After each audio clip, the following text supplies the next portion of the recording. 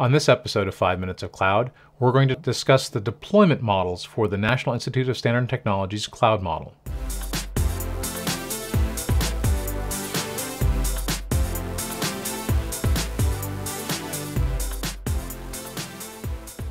So in the NIST model so far, we've discussed a number of different components. So the National Institutes for Standard and Technology cloud model has a set of essential characteristics, things like on-demand and elastic and broad network access. Um, it has a set of service models that includes things like software as a service or infrastructure as a service. And the last description was the deployment models. I actually think of them more as access models. Public, private, hybrid, and community are the, the core models there. Public is the most common one that people talk about today because there's so much use of public cloud resources. People keep talking about the fact that in a public cloud, I can actually get access to resources anywhere in the world, anytime in the world, at any scale that I need in order to actually accomplish whatever business task I have. Uh, there are all kinds of implications to public clouds because there are potentially data sovereignty issues and uh, data security issues, and actually just data transfer issues in some cases. If I'm moving terabytes of data, for example, sometimes that takes time uh, to make use of public cloud. But it is the most common model that people think of today. Now, the inverse of that is a private cloud. So this is usually something people think of as a cloud system that was established exclusively for the use of a single enterprise or a single entity in the government, government uh, aspect of the model. And in that enterprise or entity, um, the private cloud is something that is, is really restricted in access. Not necessarily the fact that you can get to it, but the fact that you can get into it is potentially the thing that's really restricted. Uh, the fact that you can get access to resources is the part that's potentially restricted. Uh, one of the nice things about private clouds is that potentially you can provide very tight security around the resources, security around the data sets, and if the private cloud lives in the same data center as most of the rest of your data, moving data into the cloud or out of the cloud can often be very, very uh, efficient. Um, so private clouds are actually fairly popular from that perspective. the ability to use these resources very efficiently. Um, but you do have to still manage the infrastructure that supports that cloud, whether it be an infrastructure cloud or a software services cloud that has been established with, with this private cloud model.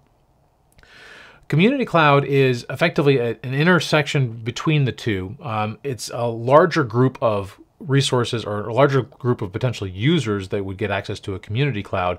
Um, common communities are things like a federal government, like a set of universities, for example, maybe the Northeastern universities in the US or uh, the Nectar uh, cloud that is a, a, part of the Australian university system.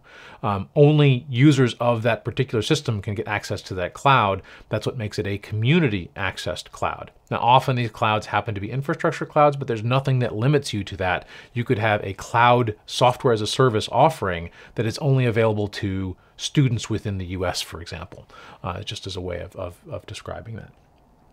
So that's the concept of community. And then the, the last one, um, which I think is the, the hardest to really describe, unless, again, you think about it from the concept of an access model, is hybrid cloud.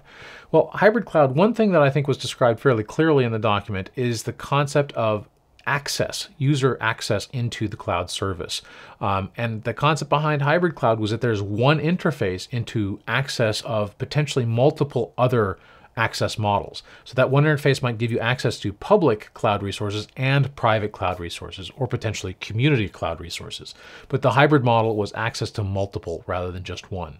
Most people talk about hybrid cloud today don't necessarily apply that access model to the, to the equation. They're usually talking more along the lines of, well, I have access to public and access to private cloud, but when I access the public cloud, I use one interface. When I access the private cloud, I use another.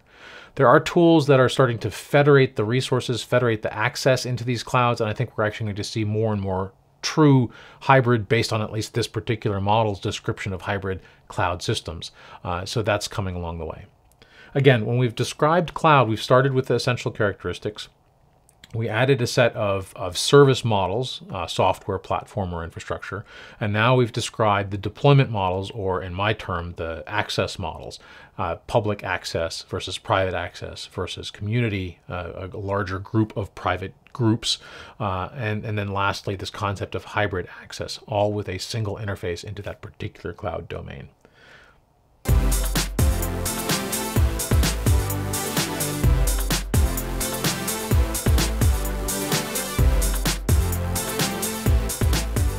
Thanks for watching. This was Robert Starmer bringing you 5 Minutes of Cloud.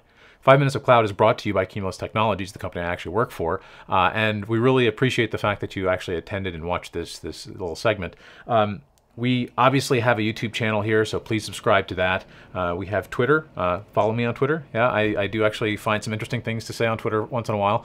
Um, and on top of that, we have a mailing list. Uh, if you subscribe to the mailing list, we have a, a, free report, basically five pitfalls of cloud that you can avoid uh, if you get my report. So uh, why don't you hop on over to our website, uh, sign up for the mailing list. You'll get that report delivered to your inbox shortly after signing up. And I think that's also another very interesting and important read. Thanks so much again for watching.